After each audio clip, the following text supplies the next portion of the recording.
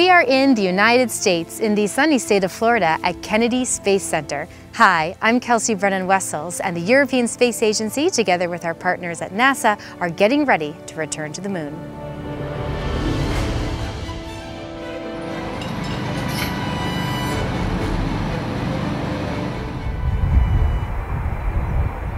ESA is playing a key role in NASA's Artemis program, which will bring astronauts back to the moon the European Service Module, or ESM, will provide propulsion, power, and thermal control for the Orion spacecraft. When the first Artemis mission launches on an SLS rocket this year, ESM 1 will guide an empty spacecraft into orbit around the Moon in a test of what's to come. There are countless steps in this journey to the Moon, but one of the major moves before launch is getting the hardware from the Vehicle Assembly Building to Launch Pad 39B.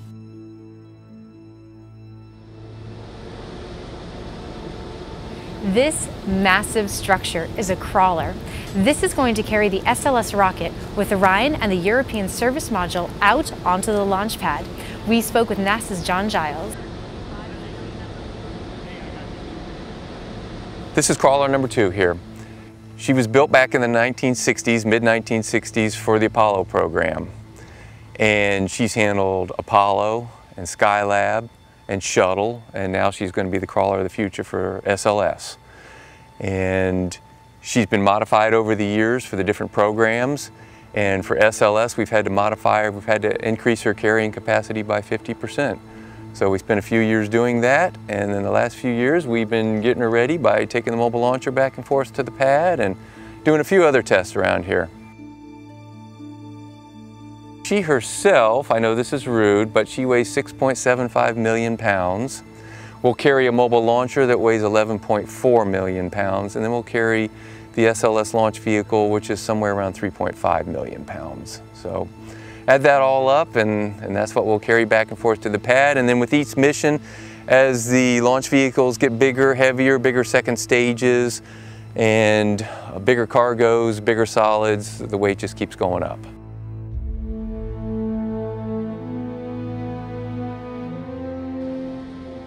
Our, our, speed to take SLS to the pad is going to be 0.83 miles an hour. That's the speed they determine will give the rocket the smoothest ride. The distance from the Vehicle Assembly Building to Launch Pad 39B is about 4.2 miles, or 6.75 kilometers. So, for Artemis, we're looking at a minimum five hour trip to the launch pad. People don't realize it, but what we're carrying does move around a lot. So those, those JEL cylinders we have have the great task of keeping everything level. We actually have a, we have um, engineers that are trained to keep it level, and then we have a system that also works to keep it level.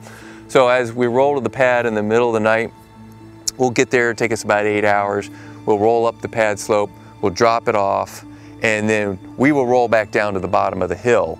And that's where we'll sit, right outside the gate, and they'll start performing tests. And we'll stay there for as long as they need us to. And it's usually until a day or two before launch, until they, they know everything's in great shape and they're ready to launch. Then we'll roll back to what's called the, uh, the MSS Park site and we'll stay there. And so if, if they need us for anything, it's just a few hour ride to get back to the pad. As John mentioned, the crawler has a history in transporting lunar missions, but adaptations were needed to prepare for this one. They were originally designed for 12 million pounds, uh, the requirement for SLS was 18 million pounds, so it's a 50% increase. Each corner, we call them a truck. So the truck consists of two of these tread belts, 57 shoes each. Each shoe weighs uh, over 2,000 pounds, and they roll across 11 very large roller bearings underneath that we replaced when, when we modded this. So we made them bigger and stronger so they could handle the extra weight Right behind here we have a gearbox. There's 16 of them on the crawler. They were all rebuilt. Uh, all the bearings were replaced in them. This, this structure right here is actually hollow inside. We had to go in there and weld a bunch more steel in there to strengthen that. And then that is connected to the chassis by four very large hydraulic cylinders that we call JELs. Stands for jacking, equalization, and leveling. Uh, each, each one of these trucks can turn. We can rotate them. They have four steering cylinders that rotates them. They can turn. We, we try to keep it within six degrees.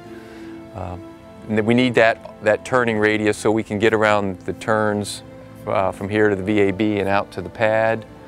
We're looking down at one of the trucks. You see one of the big steering arms. You see all the electrical cabling that goes into the motors that turn the gearboxes and, and propel us. And then this large thing right here is a steering cylinder. There's four of those attached to each truck. Each truck weighs a million pounds, so that's why it takes four of these large cylinders to turn it. And then right behind us here, we have two of the jacking equalization and leveling cylinders. These are very large hydraulic cylinders. They go down all the way into the base of the truck. They're, I believe, oh, I want to say 20, 20 feet deep, and they can extend up to 26 feet. There's four of these on each corner, and they're, they're bigger than the original ones so they can handle the extra weight. So inside here you have one of the, the cabs where the drivers will be. There'll be at least two in there. One is actually driving and one is sitting in the sort of the co-pilot's chair. Everybody is on radios during the roll. Everybody's connected to each other. Everybody can talk to each other. The drivers, the engineers, the mechanics, the technicians, they're all in contact. They're all on the same net. Have a fuel tank here. We 2,500 gallons of diesel fuel. We have two fuel tanks, one on this end, one on the other end. So we carry 5,000 gallons of, of fuel with us at all times. Our goal is to never stop while we're rolling. We have bathrooms on board, microwave, you eat your lunch, your dinner, your breakfast, everything is on board here. We try not to stop. If we stop, something probably didn't go the way we had it planned and we got to fix something. It's a wonderful piece of machinery. If you're an engineer, this is, this is the greatest thing ever.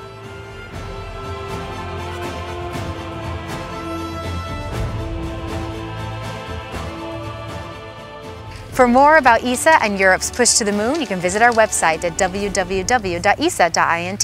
I'm Kelsey Brennan Wessels. Have a great day.